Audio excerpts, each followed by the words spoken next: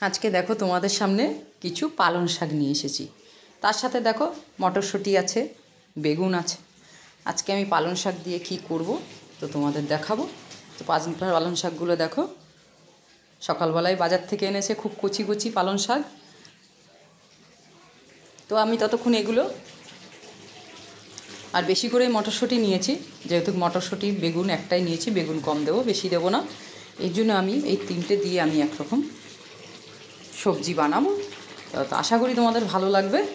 তো ততক্ষণ আমি এগুলো বেছে কেটে নিচ্ছি আর মটরশুঁটিগুলোও ছুলে নিচ্ছি। তো দেখো, শাক কেটে আমি ধুয়ে গুছিয়ে রেখেছি। বেগুনও কাটা হয়ে গেছে, মটরশুঁটিও ছোলা হয়ে গেছে আর লঙ্কা কিছু কেটে রেখেছি, কাঁচা লঙ্কা।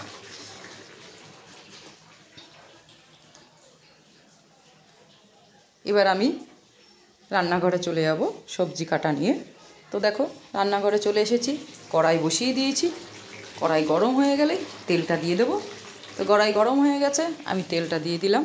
তেলটা একটু বেশিই দেবো, যেহেতু বেগুন ভাজতে হবে আগে, এই জন্য আমি তেলটা বেশি করে দিয়ে বেগুনটা ভেজে তুলে নেব। তো তেলটা ততক্ষণ গরম হোক। তেলটা গরম হয়ে গেলেই আমি বেগুন দিয়ে দেবো। তো দেখো, তেলটা গরম হয়ে গেছে। দেখতেই পাচ্ছ কড়াইটা সাইড দিয়ে পুড়ে গেছে একটু। তো আমি বেগুনগুলো সব দিয়ে দেব। বেগুনটা একটু লাল লাল করে ভেজে নেব। যদি না ভাজি, তাহলে পালং শাকের মধ্যে দিলে কাদা কাদা হয়ে যাবে। এই জন্য আমি বেগুনটা ভালো করে ভেজে নেব, লাল লাল করে। এবার আমি একটু হলুদ দিয়ে দিলাম, ভাজার জন্য মাপ মতন। এবার একটু লবণ দিয়ে দিলাম। এবার আমি নেড়ে চেড়ে নেব, বারে বারে।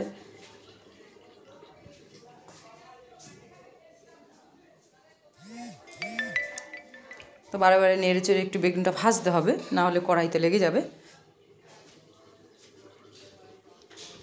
দেখ বেগুনটা ভাজা হয়ে গেলে তারপরে আমি অন্য কোনো কিছু করলেই তোমাদের দেখাবো, তোমরা দেখতে থাকো বন্ধুরা।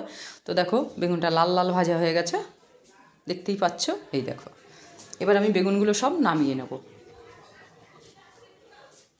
বেগুন নামানো হয়ে গেছে, দেখো সামান্য একটু তেল আছে, আমি আর একটু তেল দিয়ে দেবো। যেহেতু শাক বেশি তেল দেবো না, বেগুন ভাজতেই যেটুকু তেল লাগল, আর দেখো সামান্য একটু তেল দিয়ে দিয়েছি। এবার দেখো আমি পাঁচ ফোড়ন সোমবার দিয়ে দিলাম।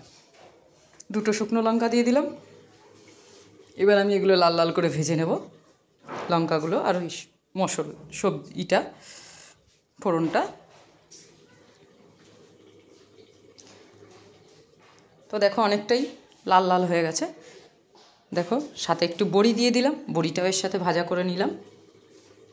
শাকে একটু বড়ি দিলে ভালোই লাগে খেতে। এই জন্য বড়িটা পালং শাক, যেহেতু এখন নতুন সবজি, সবই ভালো লাগে বড়ি দিয়ে রান্না করলে। তো দেখো, বড়িটাও ভাজা হয়ে গেছে। দেখো, লাল লাল হয়ে গেছে।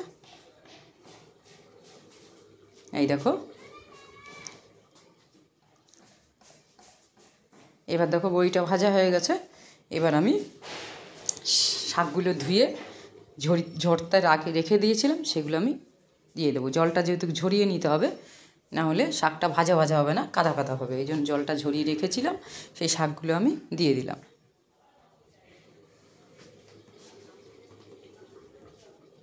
তো সব শাকগুলো দিয়ে নিচ্ছি। তারপরে দেখো, কাঁচা লঙ্কা কেটে রেখেছিলাম, সেগুলো দিয়ে দিলাম। এবার দেখো মাপ মতন হলুদ দিয়ে দেবো। যেহেতু বেগুনে বেশি হলুদ দিয়ে ভেজে নিয়েছি, এবার একটু অল্প হলুদ দেবো। লবণ দিয়ে দেবো মাপ মতন, অল্প করে। এবার আমি মটরশুঁটি ছুলে রেখেছিলাম, সেগুলো সব দিয়ে দেবো।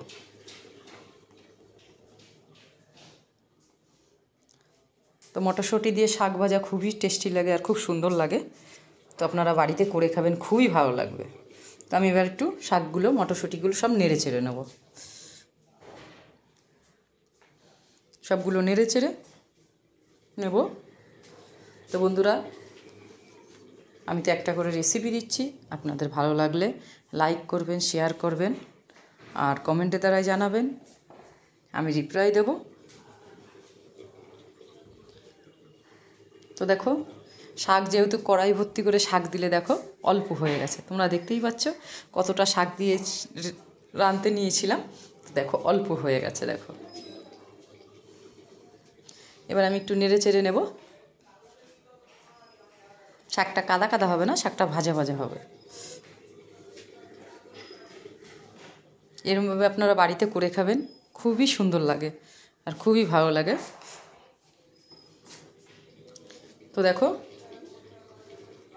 আমি বারে বারে একটু নেড়ে নেব, শাকটা যেন কড়াইতে না লাগে। তো দেখো অনেকটা হয়ে গেছে। আর দশ মিনিট, পনেরো মিনিট পরে নেমেই ফেলব। তো দেখুন, আমার একটু আগে আমি বেগুন ভাজাগুলো আমি শাকের সাথে দিয়ে দেবো। দেখো, সামান্য একটু চিনি দিয়ে দিচ্ছি।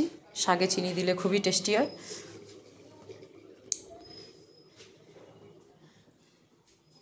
এবার একটু আমি নাড়াচাড়া করে নেব বেগুনগুলোর সাথে। বেগুনগুলো আস্তা থাকবে, শাকগুলো ভাজা ভাজা আস্তা রয়েছে। দেখতেই পাচ্ছ তোমরা?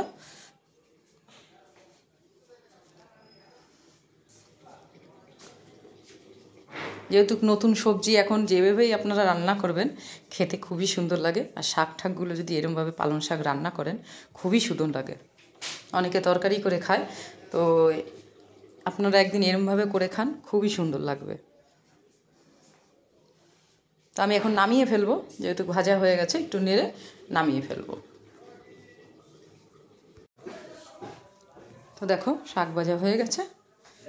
আমি এবার একটু নেড়ে নামিয়ে ফেলব। তো দেখো নামিয়ে ফেলছি।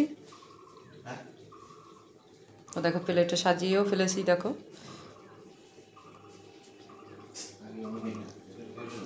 তো তোমরা বাড়িতে করে খাবে, খুবই সুন্দর লাগবে।